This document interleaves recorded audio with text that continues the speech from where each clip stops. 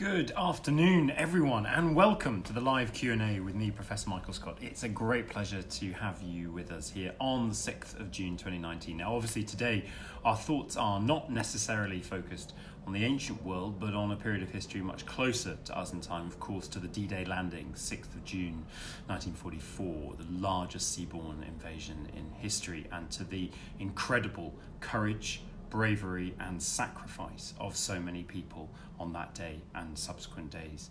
Now, uh, I've been following, as I'm sure you have, some of the coverage of those D Day uh, uh, services that have been remembering both here in the UK and uh, in France, in Normandy, um, that sacrifice. And I've seen some incredible pictures, including of a 93 year old who was there at the original D Day, parachuted in when he was younger. He in actually parachuted again in tandem this time uh, back into Normandy as well. So, some absolutely incredible images reminding us of the incredible bravery, the incredible sacrifice, and of course, most importantly, of uh, the need to avoid ever um, uh, such a global conflict ever again.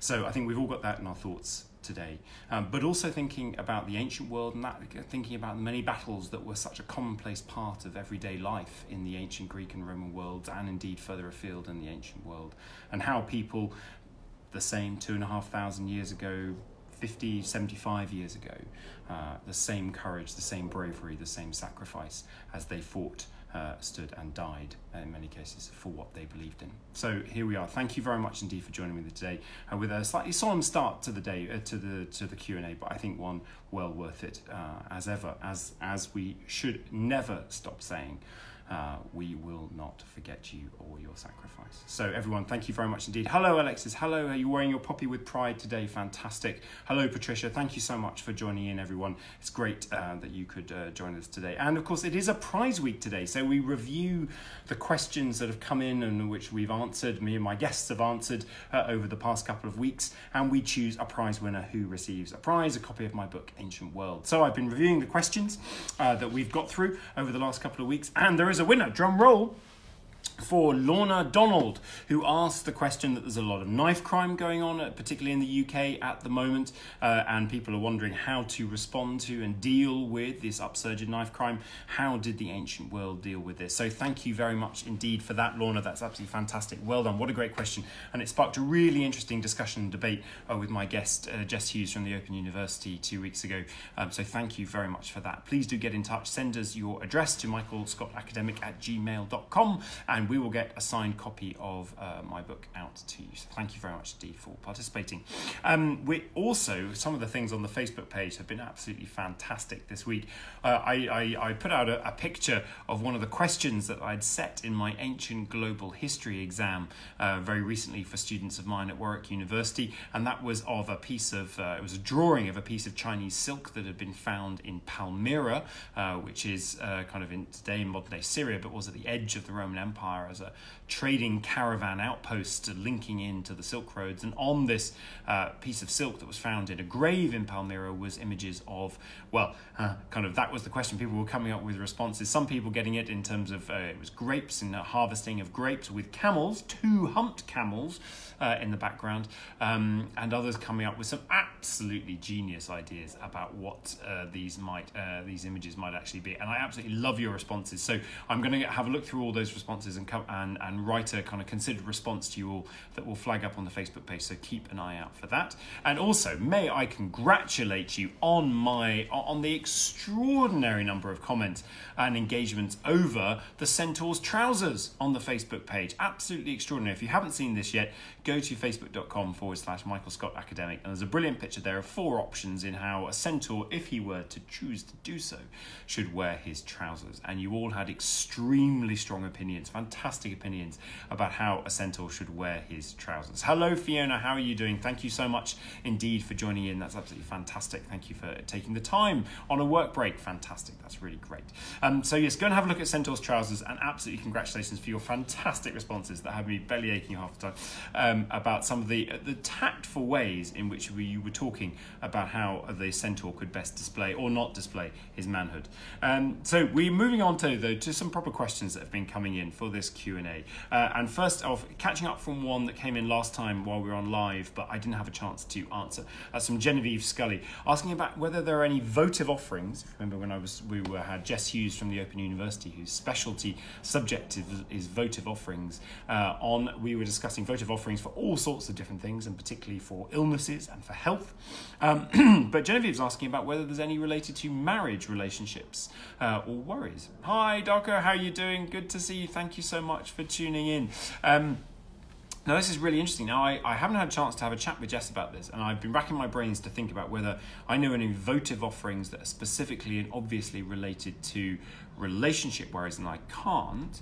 Um, but we'll come back to you on whether we have any uh, th- further thoughts on that. But the one thing I did want to flag with you is that if we move over into the area of uh, questions asked to oracles and we go to Dodona up in northern Greece, where the way in which you asked an oracle involved you actually writing down your question uh, and on a small piece of metal and then actually burying it in the sanctuary. So we have the actual questions asked by people of the Oracle of Zeus at Dodona in northern Greece two and a half thousand years ago, there we do have examples of relationship worries uh, and other familial queries coming in and being part and parcel of the stuff that was asked of the Oracle. So, um, you know, we have Dodona tablets that ask the question, should I get married to X uh, or not? Alongside questions like, you know, shall I sell my sheep? Did Thorpion steal the silver?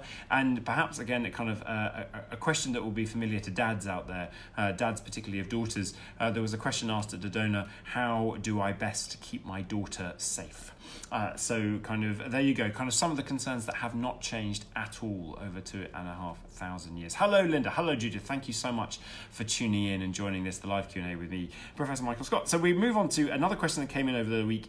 Um, Sarah Scotty asked. Uh, she's an OU English Lit student and asking, loves to study the classics, but doesn't it kind of feel that she's able to learn the ancient languages. Is there a way of learning without having to learn another language? Absolutely, Sarah. Studying the ancient texts is not something that you can only do if you're doing it in the ancient Greek or Latin. Absolutely, kind of people are engaging with these texts all the time through translation, uh, and then in through indeed through the kind of lots of different representations of those texts that have been done uh, over time by different authors, leading all the way through to books like Stephen Fry's Mythos, most recently recently, etc.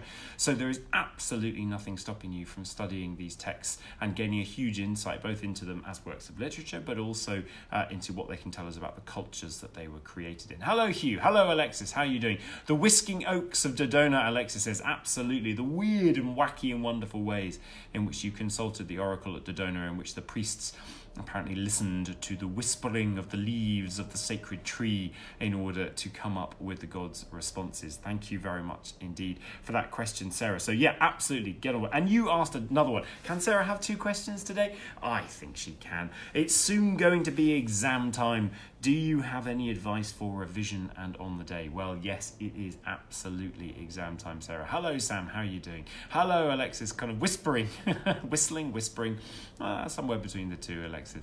Um, but yes, questions about revision. Yeah, we're full in exam season uh, at the University of Warwick. A lot of my students have been sitting exams over the past couple of weeks, and indeed, I've been invigilating exams. I was invigilating yesterday in Warwick for a, a, an exam, um, and sort of seeing kind of you know going through that process process again and seeing the students having taken so much time and effort to get themselves ready for that one moment when they have to walk in through the door, turn over a paper, and give it their best for two or three hours. It is an absolutely tough call. So, what would be my advice for those of you still sitting exams um, for this season? Well, in terms of revision, I think it's really important that you do your best to inform yourself about what kind of exam and what kinds of questions are normally asked so that you can then target your revision. So, absolutely, you should be looking at past papers. You should be asking if there are any sample answers that you could be looking at from past papers, really getting it clear with the module conveners, if you possibly can, about what it is that they're looking for in the exam. And then, you know, you want to be taking a targeted approach to revision. It is in an ideal world, of course, we would be revising everything, but it's very unlikely that people are going to have the time to do that. So I always suggest trying to uh, create, you know, depending on how many questions you've got to answer in the exam, double that and add some more uh, numbers of topics um, that you're going to revise. And then those are your big revision topics that hopefully should cover you for kind of questions as they come up in the exam. And then for each of those revision topics, you want to have subsections. So you want to have a little bit of, and make sure you know the nuts and bolts of what's actually going on when, a little bit about the, the primary sources. So kind of what are the primary sources telling us? You don't normally have to actually learn by rote quotes or names or reference numbers for primary sources. But if you can throw in some of the authors that are talking about particular points, that's great. Uh, then also thinking about the secondary scholarship. So what are uh, the secondary sources talking about and saying is important about this particular issue or not? What are the sides of the arguments that you might uh, put forward? Um, and then crucially, what do you think about it? Right? What's your view? What's your opinion? And finally, also think about how your topic might connect into different kinds of questions. You might not get a question in your exam that's specifically on the topic that you've revised, but can you use that information somehow to answer a different question? So, doing that thinking before you go in um, about the different ways in which your topics relate to other topics and other issues that you've studied in your subject, really important. And then when you get into the exam on the day, the only thing you need to remember if uh, this is for an arts exam, kind of arts and humanities exam where you're doing essay questions, is that you must answer the precise question set. Right? The number of people, hello Susie, how are you doing? The number of people who see a question and think, oh, it's about that, and then they quickly write out their, their stock answer about that topic, and it never works because what uh, markers are just looking for is that you've understood the precise terms of the precise question set on the exam paper, and you've offered an answer to that exact question. So, in your introduction in essays, always define any ambiguous terms in the question and lay out exactly how you're going to answer it, and then go ahead and answer it. And then in your conclusion, tell say what you've said. You know kind of it is it is absolutely not rocket science. An exam essay should tell tell me what you're going to tell me in the introduction tell me in the middle and then tell me what you've told me at the end. So those are my tips for revising Sarah for the exams. Hello Anthony. Hello Susie. Thank you so much for joining in. Um, and Linda you've asked a question. Linda Montague has asked a question. So and I should say before we move on good luck to everyone who's taking an exam or has taken an exam this summer and is now waiting nervously for the results. I'm sure you have done brilliantly. So, Linda, uh, you asked a question about if you could travel back in time to ancient Greece and be a person of influence, what would you change if you could? Oof, tough question. Well, I asked that to you all as well. You know, if you could go back in time and change a moment in history, what would it be? Right? And how and why would you choose the thing that you'd chosen? Um, obviously, we can never know what happens, right? If we change a moment in history, what are the ramifications of that change going to be? But I guess uh, kind of one of the things that I would like to at least have a chance to do is go back to ancient Athens in 399 BCE and try and have a word with Socrates. Uh, not uh, to tell him to escape uh, after he'd been uh, sentenced to death, because we know people tried to tell him that and he absolutely didn't uh, take the advice. He decided that he wanted to uh, not abscond from the city. Uh, he didn't believe that they dealt with him fairly, but he was not going to abscond from the rule of the city. But could you have got to Socrates a little bit earlier, perhaps before he put forward his suggestion to the jury um, of how he should be treated? So, if you remember back in the courts of ancient Athens, you were first uh, tried to see whether you were guilty or not guilty of the particular crime by a jury, and then if you were found guilty, both sides got to submit a recommendation for what the punishment should be, and the jury pretty much had to choose one of those two options. They didn't have a free hand. Uh, and famously, Socrates kind of, well, the, the accusers asked for death, and Socrates came in and went, No, you know what? Actually, I think you should uh, kind of basically pay for my entire lifestyle because I'm a really good thing for the city, um, keeping you all on your toes. Uh, and but with those two options, on the plate, the jury chose death. So, but if I could change anything, I'd probably go back and try and convince Socrates to maybe not go back in with such a tongue-in-cheek uh, suggestion of punishment. Because if he'd put something down like uh, exile or a huge fine or something like that, he would probably not have been sentenced to death. So there you go. Uh, Linda, thank you. You're going to send me your time machine. Very handy indeed. Very handy indeed. I don't think I've got a huge chance of convincing Socrates somehow uh, of my plan. I suspect he was a man who was uh, quite difficult to convince uh, to do anything else than he thought he should do. But uh, anyway, I kind of I hope uh, that, that that might uh, kind of work. And tell me, let us know now, live or indeed over the Facebook page over the following week, if you could change a moment in time what would it be and why? Um, brilliant. So thank you so much for those questions that come in. We'll take a quick break from questions to talk about what's in the news. Uh, we do this every week, so uh, the kind of the classics, different things to do with the ancient world that are in the news. Also, we do a section about what's on, kind of different exhibitions and events going on, and then we have some recommendations for you, books uh, that, that people have uh, suggested in. We've got some of those today. So, in the news, one of Egypt's oldest oldest Christian churches, dating back to the fourth century, was found hidden behind an ancient basilical wall. So this has been discovered by Polish archaeologists who've discovered a 4th century church in Egypt. This could be one of the oldest Christian churches uh, found. Uh, they found it in the port of Marea, which is near the city of Alexandria, um, and indeed they found a basilica, a buried chapel, and a large collection of a ceramic fragments. So watch this space for more, but that's fantastic.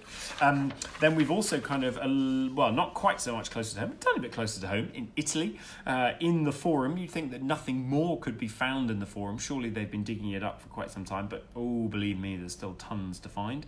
Uh, ancient marble head of Dionysus was discovered near the Roman Forum kind of from Rome's imperial age, showing Dionysus, uh, well, uh, kind of as Bacchus, as the uh, Roman god of wine, music, and dance, uh, discovered in the heart of the city uh, during excavations last week, um, and it had been reused to form part of a medieval wall. Poor old Dionysus, kind of there he was, resplendent in a sculpture, and then at some point his head got knocked off and it got put into a wall instead. Um, but the experts are saying the head is in fantastic condition, so clearly those builders were doing uh, a kind job of putting his head nicely cemented into the wall, and who, how did they know, uh, protecting it to survive for 2,000 years as a result. That's great. Over to Delos, back in Greece, so a little bit further away. Uh, now, of course, Delos we've been thinking about a little bit since we've been having our debates uh, about whether or not modern sculptures should be placed uh, in amongst the ancient ruins on Delos. But again, more news from the Delos Open Museum Restoration Project, and the Ministry of Culture and Sports has presented a comprehensive plan for the protection and enhancement of the archaeological site of Delos. So, kind of look out for more changes there. And I cannot recommend it enough. If you get a chance to get to Delos, take it. It is an extraordinary ancient site. It does involve a trip to Mykonos. Uh, so, you go to Mykonos, maybe have a few days on Mykonos, and then when you've recovered and your hangover's not too bad, take a boat uh, from the harbour in Mykonos and go round to Delos, where you can only spend the day and then you have to get off the island by about four o'clock in the afternoon because the island is shut to visitors after four o'clock. No one lives on the island bar uh, the archaeological site personnel, um, and if you are linked to the French excavation hut uh, that's there and the French excavations on the site, which I was very, very lucky enough once upon a time to do, and actually slept overnight on Delos. Um, using the time machine, says Alexis, maybe go back and tell Pandora not to open that flipping box. Well, but what was the last thing kind of to scramble just about out, out of that box? Was hope. So you know there were some some good to come of it as well. Um, but I think that's a brilliant one. Thanks Alexis for that. Linda, you'd warned the Gauls in France that Julius Caesar on his way to change their defence and attack tactics. Do you think that would work? Do you think anything would have stopped Julius Caesar? Absolutely brilliant. Uh, do you think the Gauls would have gone done anything except gone ha? Really? Whatever. Bring it on, Julius. Kind of one way or t'other. Thank you so much for those ideas. Absolutely fantastic. A couple more pieces of news to fit in. Uh, we're coming to Britain now. Uh, and uh, here, a large Roman building has been uncovered at Abbey Farm in Faversham, which is absolutely fantastic. Kind of here again, even on our shores, uh, kind of lots of stuff being discovered all the time. It's an absolutely extraordinary building, 150 foot long by 50 foot wide, divided into zones of activity. So there was a bathhouse with a furnace, but then as you move east, it seems to be more um, kind of being used for agricultural activity. So a multi-purpose uh, sort of sports centre with garage esque sort of thing has been found out at Faversham. So that looks absolutely brilliant.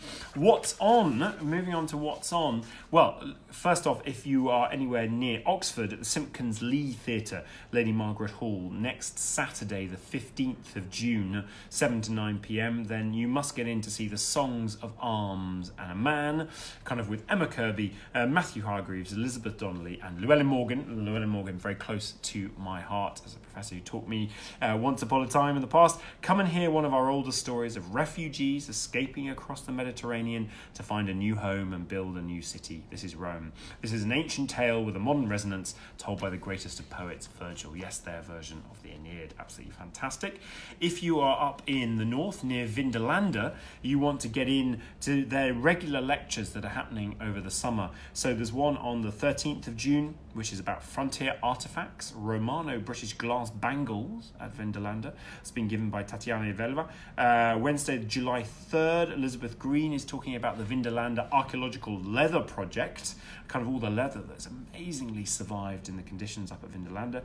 And on August the 7th, Robert Hefford will be talking about the chemistry of Vindolanda. So all those lectures start at 7 pm. Do get a chance uh, to go and drop in on those. Um, and of course, if we can have one thing happening in Warwick that I want to flag with you as well, it's our 1st of July Teachers' Day. So if you're a teacher out there teaching GCSE or A level classical civilization or ancient history, this is the day for you that we're putting on specifically for teachers. There are a couple of places left, um, but and there are bursaries available also to help with travel costs to come and join us, where there'll be a series of lectures by different staff members through the day, including me. I'll be there talking about Greek religion, linked to the different uh, module topics of the GCSE and A level syllabus. So we're there to help you uh, with questions you might have about the syllabus, help you with those aspects of the modern scholarship and kind of different scholarly directions the subject is taking, um, and also to answer any of your questions. So do come along and join us on the 1st of July. If you want to sign up, go to www.warwick.ac.uk forward slash WCN. Absolutely fantastic. And then what's new in terms of books, kind of, I must flag this with you. We put it on the Facebook page as well, but The Battle Between the Frogs and Mice, there's a new translation coming out this autumn. Now, you may not have heard of this, but this is actually an ancient text. It's a sort of mini piss take epic. Um, it was written kind of, kind of on into the Hellenistic period, um, where kind of it's a tumultuous, epic battle, uh, but between frogs and mice. Um, and it's absolutely brilliant. And it's well, well worth this new translation coming out by EU Stallings. Um, so can't wait to have a look at that. Get that uh, on order. Um, I was at the book launch of Daisy Dunn's latest book, In the Shadow of, Vesuvius, The Life of Pliny, that's now out in all good bookshops. So do have a look at that. Uh, that. It's brilliantly uh, cast through the kind of lens of the eruptions at Pompeii, covering Pompeii and Herculaneum, but thinking about a little bit the life of the elder Pliny, but mostly focused on the life of the younger Pliny, he who would go on to have have uh, sort of governor controlships out in places like Bithynia, out in the east, where he wrote back to the Emperor Trajan asking what to do with these pesky Christians who just don't want to follow the rules. Um, and Trajan famously writing back, going, Look, if, uh, if you can kind of sweep it under the carpet and just leave them be, do. Um, kind of try and make sure, make it not a big hoo ha. Uh, kind of very sensible, sensible advice from the Emperor Trajan there. Um, also, to flag from the Warwick Classics Network, we've got a new Ask an Academic video out by Dr. Clare Rowan, who's talking about the age of Augustus on coins. So, again, you can have a look at that through www.warwick.ac.uk forward slash WCN. Um, and I'm up next. So I'm going to be talking about Greek religion. We're going to be recording that over the next uh, couple of weeks, and then it will be released to you fairly soon after that. So, if you want to ask me any questions about Greek religion that I'll answer as part of the Ask an Academic uh, uh, Warwick Classics Network video, particularly focused for teachers and for pupils in schools, um, if your students are out there, uh, kind of, and you want to get clubbed together as a class lesson and come up with some questions that you want to ask me about Greek religion, do send them in. You can either send them in to me direct uh, or through the Facebook page or via the Warwick Classics Network. There's a contact email there for the Warwick Classics Network Research Fellow Paul Grigsby, and we will uh, answer them as part of the video. Okay, we've got some time for a couple more questions. Hello, Alexis. Go, yeah. Hello, John. Thank you very much indeed for tuning in. That's absolutely fantastic. Great that you could be here. We had a question from Alexandra Sills, who is currently, all right, this is quite jealous making now. She's currently out digging on Despotiko with Birkbeck University, um, and she'd love some thoughts about archaic Cycladic sanctuaries to, well, she asked us to get her in the mood before she went, but hopefully she might be listening in or be able to tune in at some point after a hard day excavating in the sun. Now, Despotikou kind of is a tiny island off Antiparos, which is itself a small island off the Cycladic island of Paros. Um, so we're on a, a, pretty remote location out in the middle of the Aegean and also a pretty amazing, gorgeous one. Paros and Antiparos are both absolutely beautiful in Despotikou, though I've never visited personally. Absolutely fantastic. But this is the site of a sanctuary of Apollo around about the 8th century, uh, 8th century temple. Lots of kind of uh, everyday material has been discovered. Absolutely fantastic. Uh, and kind of, I, I, guess my thought about archaic Cycladic sanctuaries would be how, for how long we have underestimated the degree of connectivity between islands um, at early, early stages. That you know we see this happening all the time in later phases, and we're kind of used to that. Um, but even in these early phases in the archaic period, kind of huge amounts of connectivity, of movement of peoples and goods in between these islands. The dance of the islands, as it was so beautifully put, the title of the book by Christy Constantakopoulou about uh, uh, insularity and, and, and, island interaction. Um, so it kind of, I think that's my kind of thought about archaic Cyclad, that we must never estimate, underestimate the amount of interactions that are going on. And it would be lovely, Alexandra, if you could report back on what your findings were from this season's excavations at Despotiko when you get a chance, when you take off your sunglasses and stop uh, sunbathing, when you've got a spare moment from excavation and you come back to the real world from the heart of the Aegean. Do let us know. Uh, we won't be too jealous when you let us know uh, what the finds of this season were. Um, kind of then, ah, Paul Mangan. Here we go. We've got a question here about Herodotus. Um, kind of coming in saying Herodotus was a barbarian lover when he wrote his history. Did Aeschylus receive a similar response for his sympathetic, sympathetic portrayal of the Persians in his play The Persians. So, Paul, really interesting question about uh, those responsible supposedly for writing history. Herodotus, using that word in Greek, it's historia, our word history, but it means investigation, uh, and then playwrights like Aeschylus. But the, the crucial thing I think we need to tease apart here is actually the timings because Herodotus writing at the end of the fifth century in about the 420s, and Aeschylus writing back at well, kind of where he stood kind of at the Battle uh, of Marathon, and then kind of was a playwright in the years after that. So in the uh, late uh, in the 470s and 460s. Um, Herodotus gets called a barbarian lover, but it's not actually at the time he's writing it. Centuries later, uh, in the work of Plutarch, who actually writes a text called On the Malice of Herodotus, accusing him at that stage of being a philobarbaros, a barbarian lover, as if it's a bad thing. But that's not necessarily the reputation that Herodotus' history has at the time. Um, and, you know, kind of, I mean, his, his history, you can see exactly why Plutarch later kind of labeled him as, a, as kind of not taking a side, um, because the very opening of Herodotus' history uh, is this famous line, you know, so he, he launches his Historia, his inquiry, so that things may not be forgotten in time that are both great and marvelous, some by Greeks, some by barbarians. Right? Um, so that they may not lose their glory. So, in that very opening paragraph, he's kind of equating the fact that barbarians can do great and marvelous things just as much as Greeks do. And kind you follow that through the narrative of Herodotus, he's constantly looking at other groups outside of the kind of core Greek world. And sometimes the stuff they get up to ends up being an example for how not to do things and how they've got it wrong and they misunderstood something. But equally, half the time, those examples are there to kind of provoke the question of hang on a second, are we sure uh, about where the boundary between civilization and barbarism lies? And of course, barbar at that stage was simply meaning that they don't speak Greek. It didn't necessarily have the kind of um, connotations of inferiority that it later comes to have by the time you get into uh, kind of writers like Plutarch, where kind of historians were very much supposed to more bolster kind of what's happening within their world. And I think we've, we've struggled to get out of that um, for centuries as a result of that. This idea that history is somehow supposed to um, always tell a shining story about those um, immediately around the historian and kind of equate uh, higher and better and more civilized civilizations and, and pit them against less civilized ones.